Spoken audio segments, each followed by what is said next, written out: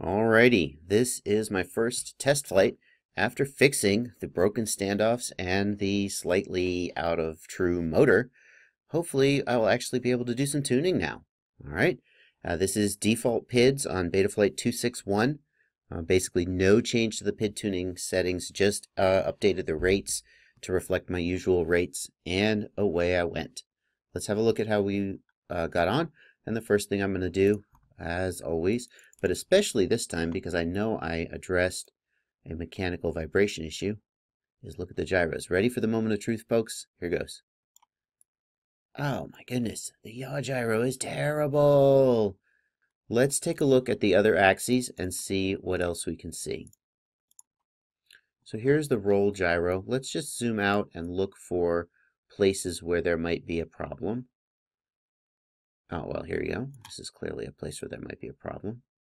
Let's take a look at what this looks like in the air.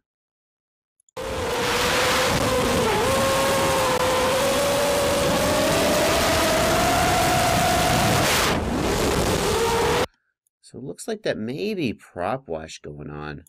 It was, boy, it was pretty subtle over here, huh? Kind of like a, a rapid twitch. Look what the motors do.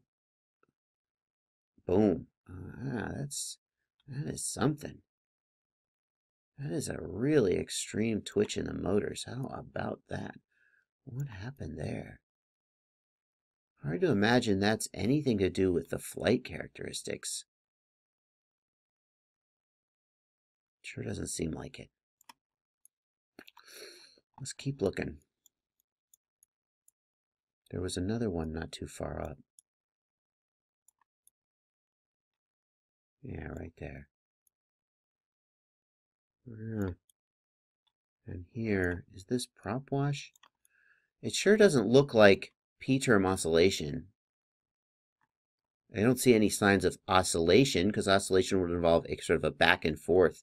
This is just some crazy twitching. Oh, there's, I see some repetitiveness here and here.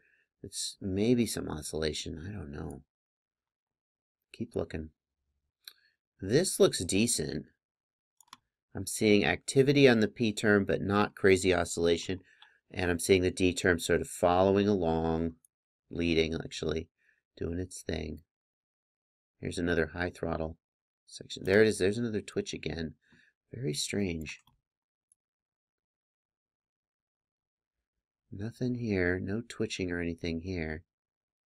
I know there was another one as well. Uh, low throttle. There's some... Yeah, there it is again. It's really strange. This doesn't feel like like P term or D term oscillation. It's some kind of a crazy like just a twitch.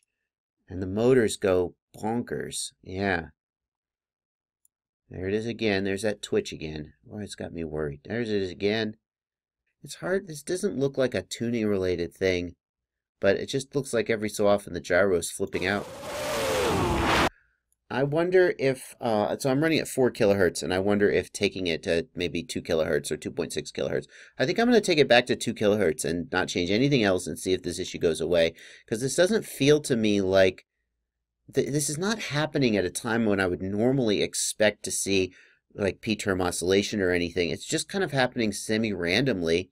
And it doesn't look like anything I've seen before. It just looks like this, occasionally there's this crazy twitch in the motors and I, I, I know it's not. Yeah, here is this, sharp twitch.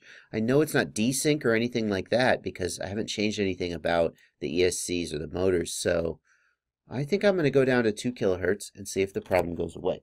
So let's uh, let's go ahead and do that. Let's uh, let's go take it out, put it up in the air again, and see what happens. All right, well that didn't do it. So let's keep digging. Is there anything in RC command. Does RC command twitch? And no, we can see that the sticks are not moving. RC command is not twitching. Okay. P term takes a dive. Gyro goes the other direction. Well, wait a minute. If they're opposing the gyro, they must be responding to the gyro. Because if they were not responding to the gyro, the gyro would go the same direction. Well, folks, I flashed back to 241, which was a known good config. I restored my config, and here was the result.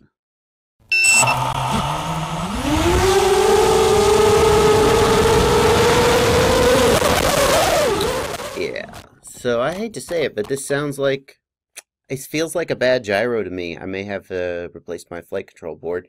So, uh, well, this is a question of trial and error now.